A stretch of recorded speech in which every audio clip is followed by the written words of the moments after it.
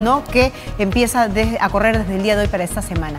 8 y 7, vamos con otra información. A propósito, el expresidente Pedro Castillo insiste en su pedido de una pensión vitalicia. Y luego de que el Congreso rechazara esta solicitud, la defensa legal del exmandatario, hoy preso, anunció que ha presentado un recurso para recibir este beneficio económico. La defensa del expresidente Pedro Castillo apeló a la decisión del Congreso que declaró improcedente la solicitud de Castillo Terrones para acceder a la pensión vitalicia de 15.600 soles en calidad de ex jefe de Estado. Según el Congreso, Castillo tiene suspendido este derecho por contar con una acusación constitucional. En su petitorio, el abogado Walter Ayala afirma que la denuncia fue aprobada con posterioridad al derecho a pensión que había adquirido constitucionalmente. Asimismo, afirma que el suscrito está siendo investigado y goza de la presunción de inocencia. El caso continúa siendo materia de debate entre los legisladores, en tanto está pendiente que el Congreso se pronuncie sobre el pedido del expresidente Alberto Fujimori, que también ha solicitado pensión, asistente y gasolina.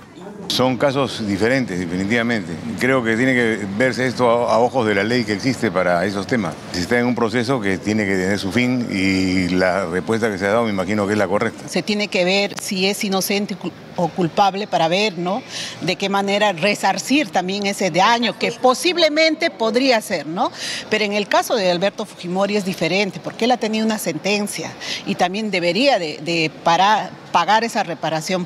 Eh, que ha hecho a nuestro país. Vemos cómo la política es para unos eh, muy, muy complacida y para otros pues porque tiene una, una procedencia distinta, una ideología distinta y no es de la derecha.